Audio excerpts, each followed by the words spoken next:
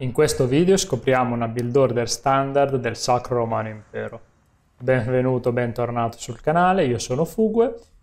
e questa guida di oggi si dividerà in due parti. Nella prima vedremo i passi che sono praticamente invariati per arrivare ad età feudale e poi vedremo assieme come arrivare il prima possibile all'età dei castelli senza però trascurare le nostre difese. C'è una build order che vi consente di arrivare all'età dei castelli in 7 minuti senza fare torri o unità, facendo comunque un paio di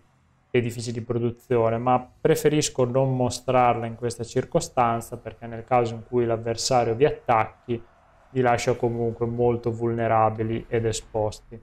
Inoltre, se fate la cattedrale di Regnitz come vi farò vedere in questa build, non avere il controllo della mappa ovviamente non vi consente di sfruttare il vantaggio di poter raccogliere le, le reliquie con i vostri prelati nel caso in cui il vostro avversario sia attento. Detto questo, cominciamo.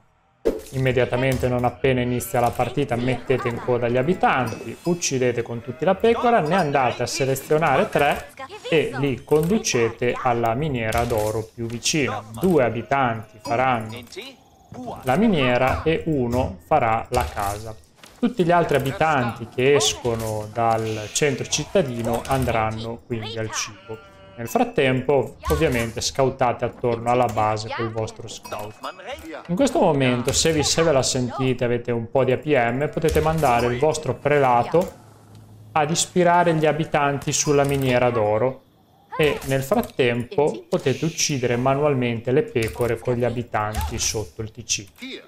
Una volta che avete ispirato tutti gli abitanti qui, ricordatevi di far ritornare il prelato sugli abitanti al cibo. Delle due cose, se non vi sentite sicuri di poter fare questa attività, conviene lasciare gli abitanti sempre sul cibo, dato che sono in maggior numero, quindi vi conviene assolutamente ispirare questi.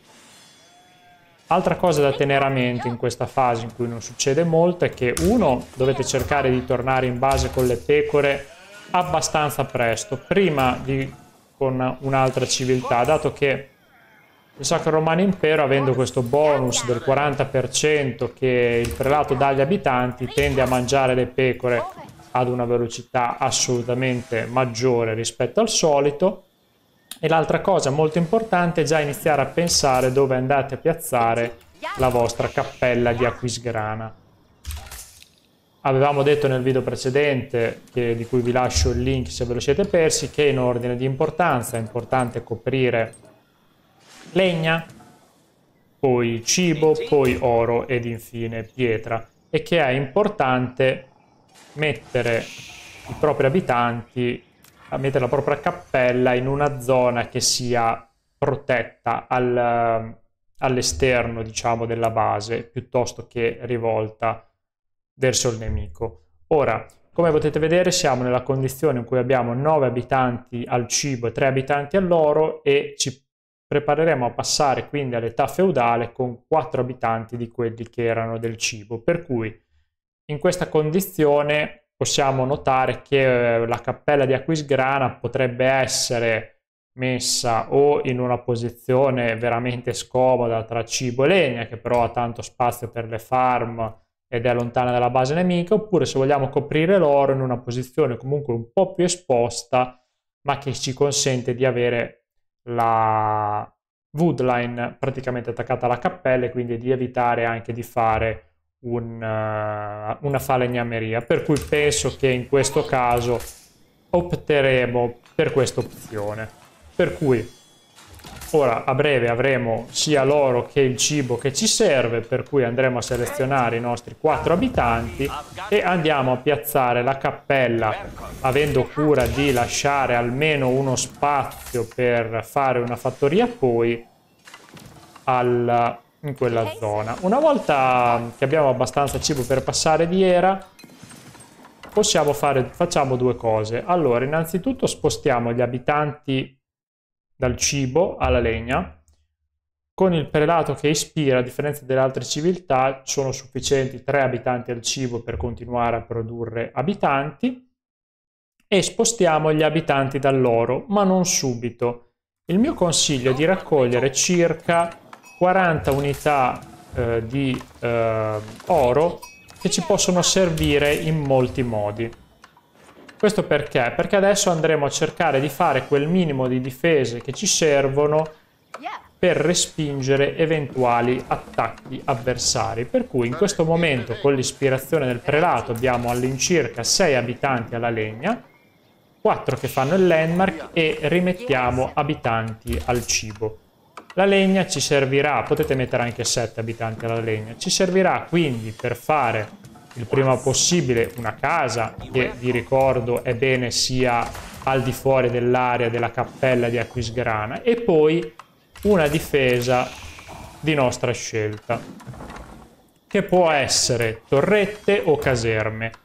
Un metodo standard che si faceva una volta era di piazzare una torretta sull'oro e una torretta sul, sulle bacche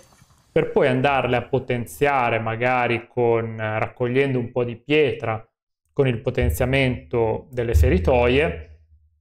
Però questo è passato un po' in disuso, non tanto perché le difese statiche siano più deboli, dato che il Sacro Romano Impero le può difendere con le riparazioni d'emergenza, ma perché è comunque un investimento che ha all'incirca di 300 risorse che poi dopo eh, non dà i suoi frutti più avanti nel game. Anche perché se invece le spendeste per difendervi in truppe potete comunque riutilizzare più avanti gli edifici di produzione, mentre invece una volta esaurite le bacche piuttosto che l'oro, la torretta non fa un granché, anche se comunque può essere un posto discreto in cui alloggiare le vostre reliquie. Per cui ora andiamo a vedere come se per esempio stessimo giocando contro i francesi, questi 53 di oro che magari se facessimo due torrette servirebbero per avere l'oro necessario per fare i potenziamenti, in questo caso ci serviranno invece per fare una caserma e fare il potenziamento delle picche che costa 35 per cui a breve passeremo di era. Ricordiamoci di spostare il prelato dentro la cappella. Metteremo questi quattro abitanti all'oro e questi abitanti dalla legna li porteremo qua vicino alla cappella dove sono ispirati. Ora in questa circostanza, se avete, dovreste avere continuato a scoutare, dovreste avere delle ulteriori pecore da portare, per cui a questo punto nuove pecore che state conducendo alla, alla vostra base, in questo caso andranno spostate nella direzione in cui sono influenzate dalla cappella di Aquisgrana. Se come in questo caso siete in una condizione in cui la cappella di Aquisgrana non vi protegge il cibo. Una volta che avete la caserma potete mettere in coda un paio di menetarm piuttosto che un paio di picche con uh, il potenziamento delle picche e continuare a produrre abitanti e metterli al cibo. Con uh, circa 6 abitanti alla legna potete fare una strada in cui una volta che avete fatto magari un mulino sulle bacche piuttosto che un secondo edificio di produzione come una scuderia, potete anche fa iniziare a fare qualche fattoria attorno alla cappella di Aquisgrana che riceve un bonus molto importante. Alternativamente potete mettere questi abitanti sulle bacche e fare un secondo prelato che comunque vi servirà per fare per raccogliere poi le reliquie e potenziare gli abitanti che raccolgono anche se sono al di fuori dell'area della cappella di Aquisgrana. Ovviamente, eh, dato che le vostre difese in questo caso possono essere un po' messe sotto pressione,